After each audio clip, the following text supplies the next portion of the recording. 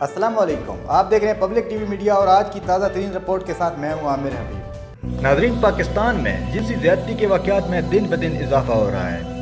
ناظرین جیسا کہ ہم سب کو معلوم ہے کہ چار جنوری دو ہزار سترہ کے دن لاہور کے شہر قصور میں جنسی زیادتی کا دلوں کو دہلا دینے والا واقعہ پیش آیا۔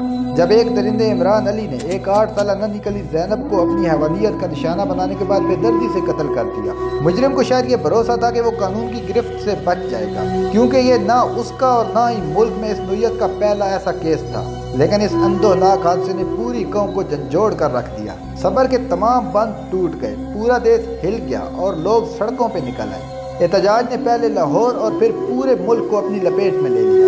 لوگوں نے آنسو، گیس سہی، گولیاں کھائیں۔ دو لوگوں نے جانیں بھی دیں۔ قانون نافذ کرنے والے ادارے حرکت میں آئے اور مجرم کو گرفتار کر لیا۔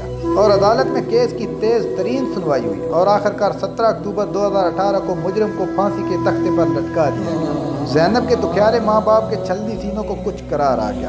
لیکن سوال اب یہ ہے ناظرین کہ کیا یہ کیس ایک مثال قائم کر پائے گا؟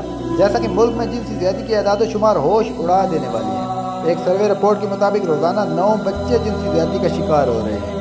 سال دو ہزار سترہ میں کل ایک ہزار انتالیس ریپ کیسز رجسٹرڈ ہوئے، جن میں چار سو سڑسٹھ لڑکیاں اور تین سو چھیاسٹھ لڑکے جنسی زیادتی کا شکار ہوئے۔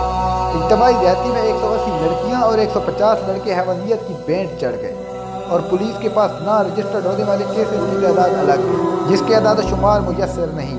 اب اس خوفناک صورتحال میں سوال یہ ہے ناظرین کہ کیا زینب کیس میں انصاف کی بہترین اور جلد فراہمی ریپ سے متاثرہ لوگوں کے لیے امید کی کرن بن پائے گی؟ اس کا جواب ارباب اقتدار اور آنے والا وقت ہی دے سکتا ہے۔ پبلک ٹی وی میڈیا دیکھنے کا بہت بہت شکریہ۔ میں ہوں عامر حبیب۔ مزید ویڈیوز، تازہ ترین رپورٹس اور معلوماتی پروگرامز کے لیے سبسکرائب کیجیے ہمارا چینل اور وزٹ کیجیے public T V media dot com